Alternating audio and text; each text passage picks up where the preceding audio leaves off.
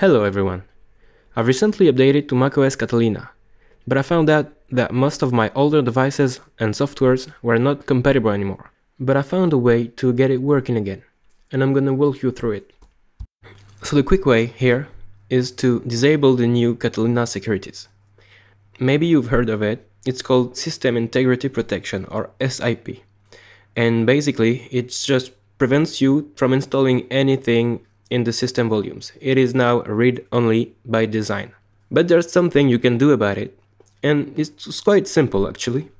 You just need to boot your computer in recovery mode. To do this, hold Command R while booting your computer. When the Apple logo shows up, release the keys and wait for it to load.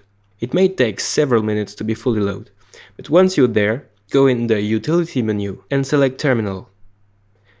Now type csrutil space disable and press return. Voila, SIP is now disabled. Reboot your computer and log into your session. The next step is also done via terminal. So open that again and type sudo mount uw space slash. Press return and enter the last command killall Finder.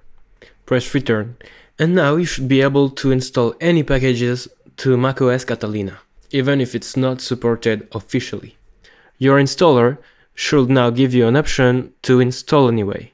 You might get another error telling that the installation was not completed correctly, but in my experience, in this case, it'll still work fine, so don't worry.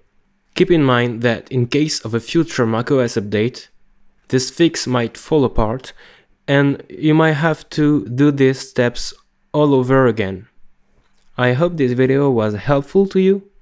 If that's the case, please leave a like, and if it didn't work, explain your situation in the comment below, and I'm gonna try my best to help you out with it.